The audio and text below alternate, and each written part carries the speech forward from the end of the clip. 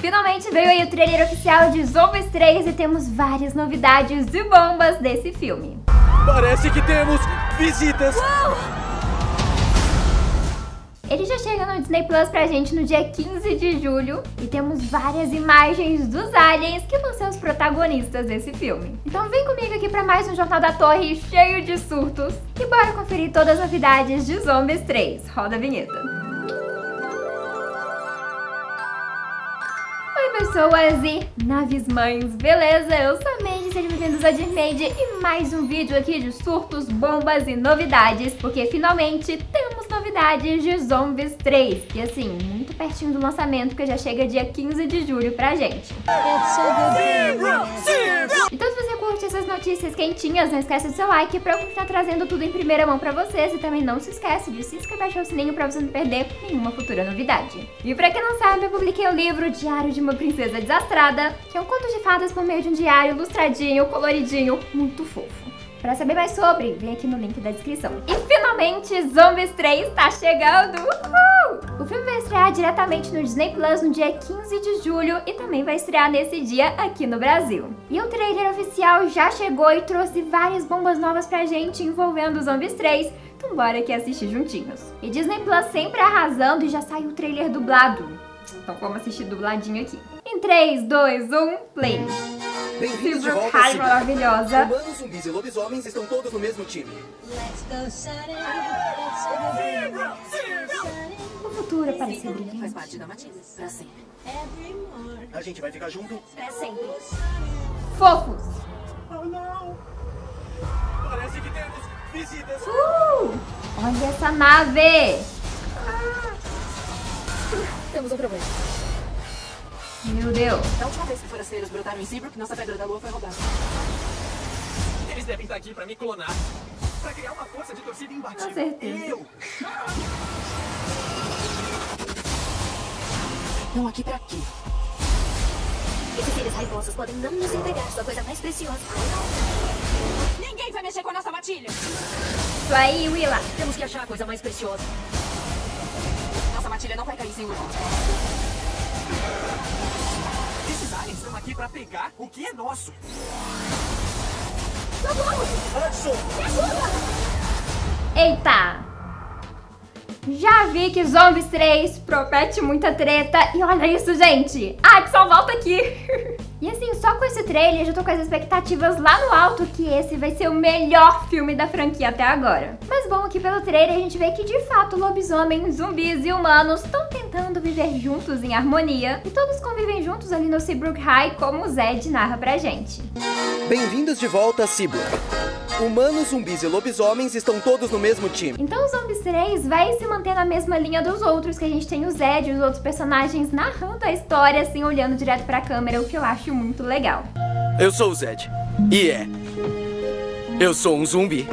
E gente tem uma galera comemorando e torcendo ali pelo time de Seabrook. Tipo aqui que temos Zed e Winter comemorando juntinhos. E de acordo com a sinopse, nesse terceiro filme, Zed e Addison estão entrando pro último ano da Seabrook High. E o Zed tá esperando uma bolsa de estudos para atletas que vai fazer ele ser o primeiro zumbi a entrar numa faculdade. E a Addison tá se preparando para a primeira competição internacional de cheerleaders que vai acontecer lá em Seabrook também. Então essas ceninhas mostram isso pra gente, que são as ceninhas iniciais do filme antes de toda a treta acontecer. E outra coisa interessante é que o Zed virou uma celebridade, tem cartazinho, fãs e todo mundo tá amando o Zed. Aqui a gente vê que ele tem uma porrada de fãs, todo mundo segurando plaquinha. Nós amamos o Zed. Inclusive, ele tem até um boneco dele, olha só isso, e uma placa escrita Excepcional Zed. O garoto virou uma celebridade e tá todo mundo torcendo pra ele. E não é pra menos, já que como a gente viu, ele vai ser o primeiro zumbi a entrar numa faculdade, então acho que todo mundo tá feliz por isso e torcendo pra ele conseguir. Mas uma parte que derreteu meu coração foi essa aqui. A gente vai ficar junto Pra sempre. Maior casal de todos, sim. Mas aqui a gente tem mais um momentinho desse baita evento que eles estão participando. Tudo lindo e maravilhoso, até que os aliens me chegam. De acordo com a sinopse, toda a parte de Seabrook será abalada com a chegada de três aliens adolescentes, só que eles vieram completamente em paz e querem ensinar paz para os humanos também. Só que no primeiro momento, né, a galera fica bem assustada, porque parece que eles não vieram em paz coisa nenhuma, não.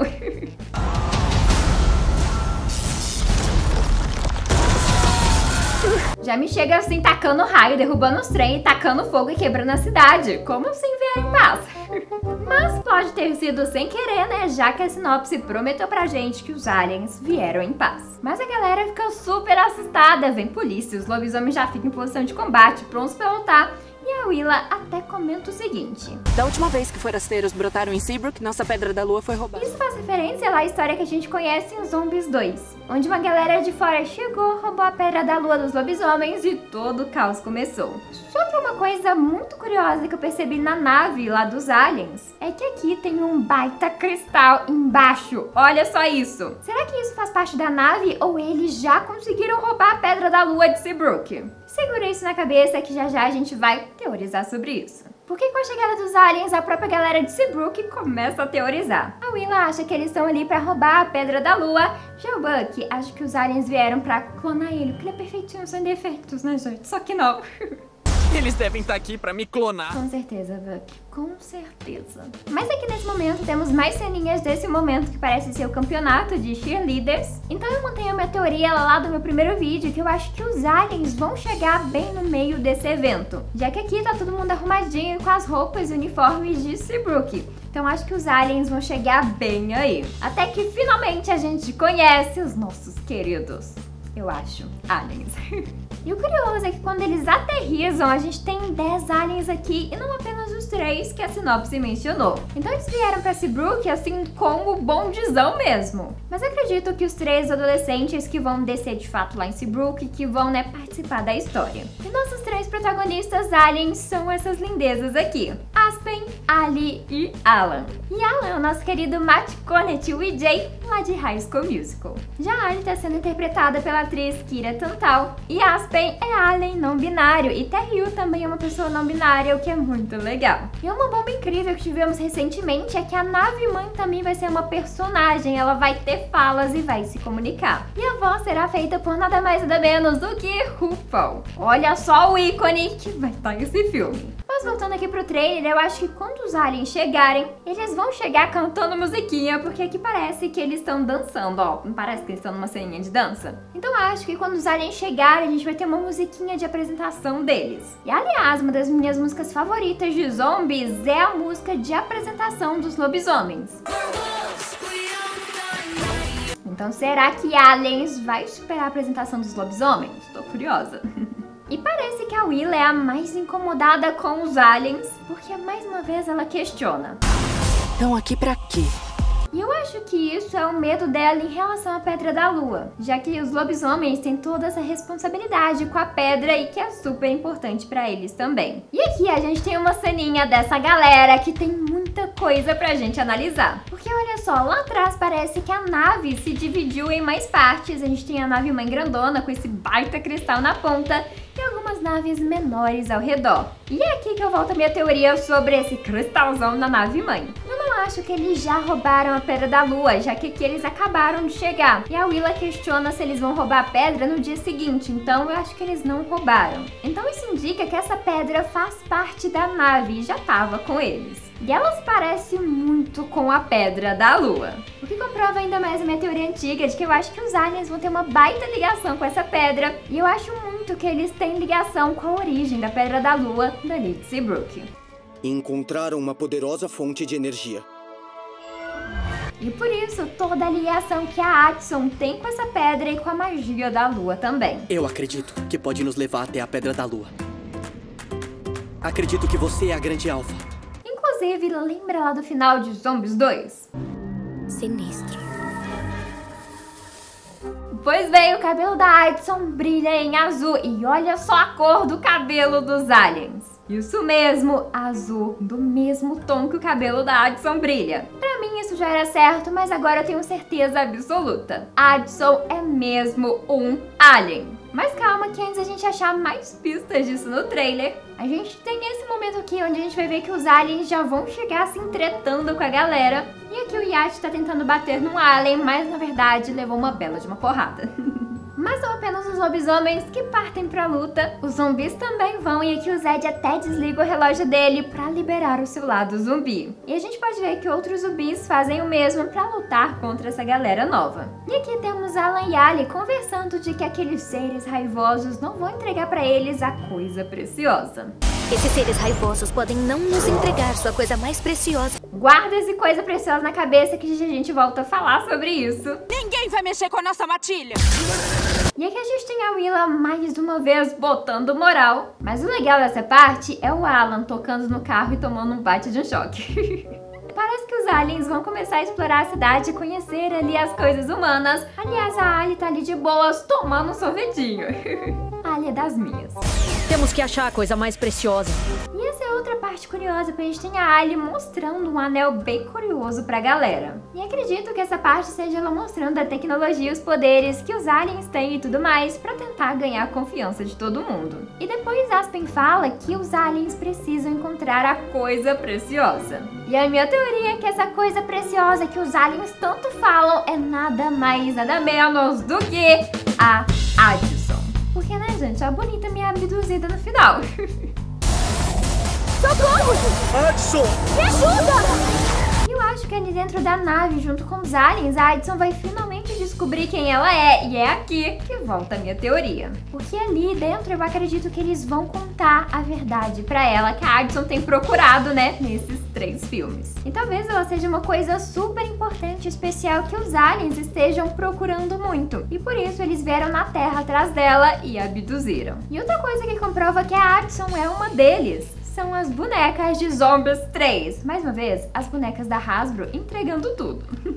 E só dá uma olhada nessa Addison. Ela vai ter um baita cabelão azul, então o cabelo da Addison vai assim, magicamente crescer. E claro, o cabelo dela vai ser azul, exatamente como o dos outros aliens. Além disso, ela tá com a mesma roupa dos aliens e o mesmo estilo de maquiagem. E né, a gente tem a Meg Donnelly nesse figurino maravilhoso, ou seja, ela aparecerá no filme desse jeito e eu tô apenas no surto. Que nossa, a gente vem teorizando que Addison é Ali desde o que? Desde Zombies 2, que tem já o que? Mil anos. então é muito gostoso ver que realmente era isso o tempo todo e que a gente vai finalmente ver a Addison achando seu cantinho e achando o seu lugar. Ela não é nosso lobisomem. Então acho que não tem nem dúvidas nenhuma mais. A Addison é uma Ali nesse terceiro filme, ela vai finalmente entender por que ela tem o cabelo branco, o que ela é e onde ela pertence. Ou seja, ela é uma alien, pertence às galáxias e aparentemente ela é uma pessoa muito importante pra essa galera. Temos que achar a coisa mais preciosa. Então eu tô muito curiosa pra descobrir a função da Addison nisso tudo e por que que ela seria essa coisa preciosa. E eu ainda não tenho um bando. E pra fechar, olha só esse momentinho aqui. Seabrook faz parte da matilha. Pra sempre. E teoria, eu acho que essa é uma cena do final do filme. Depois, assim, que tudo já se ajeitou. Por que que no cantinho parece que a Willa tá falando com um dos aliens? Porque olha só a roupa, é sem dúvidas a roupa dos aliens. Então acho que pela ligação que os aliens e os lobisomens têm com a Lua, os aliens vão pedir pros lobisomens continuar cuidando de Seabrook depois que eles forem embora. E acho que é por isso que a Willa diz o que ela diz, de que Seabrook faz parte da matilha pra sempre. Uma dúvida que bate agora é: será que a Addison, depois de descobrir a verdade que ela faz parte dos aliens, será que ela vai ficar em Seabrook ou vai embora junto com eles? Porque se a Addison estivesse ali, eu acho que os aliens iam confiar essa missão de proteger Seabrook a ela, já que ela seria uma parte deles que ficaria ali na cidade. Mas então, por que, que eles confiam isso aos lobisomens e não pra Addison? E eu acho que é porque a Addison não vai ficar em Seabrook. Assim, ela vai descobrir que ela é uma alien, que ela não é da Terra. Pra que que ela vai ficar na Terra, gente? Que graça tem? então, assim, eu acho que quando a Addison finalmente encontrar o seu lugar, ela vai querer ir junto com ele. Só não sei onde o Zed ficaria nessa história, se ele iria junto, se eles iriam brigar e se separar, não sei. Mas eu tô sentindo que Zombies vai acabar com uma baita bomba dessa com a gente pra terminar com o nosso coraçãozinho de vez. Mas é isso, galera. Isso é tudo que eu acho que vai rolar aqui em Zombies 3 e a minha análise aqui do trailer. E o bom é que a espera é rapidinha pra gente matar a nossa curiosidade, porque já chega pra gente no dia 15 de julho, diretamente no Disney Plus. E assim que o filme chegar, eu vou trazer o vídeo analisando tudinho, falando o que, que eu achei com spoilers, então aguardem o vídeo assim que Zombies 3 lançar, pra gente surtar muito juntos. Mas é isso, me conta aqui de baixo quais são suas expectativas pra Zombies 3, o que, que você achou desse trailer, se te decepcionou ou se aumentou o seu hype. Me conta tudinho aqui de baixo que eu adoro ler vocês e eu vou dar coraçãozinho. E agora, não esquece seu like pra eu saber que vocês querem mais assim conteúdos em primeira mão. E também não esquece de se inscrever e ativar o sininho. E é isso, galera. Um beijão pra vocês e tchau!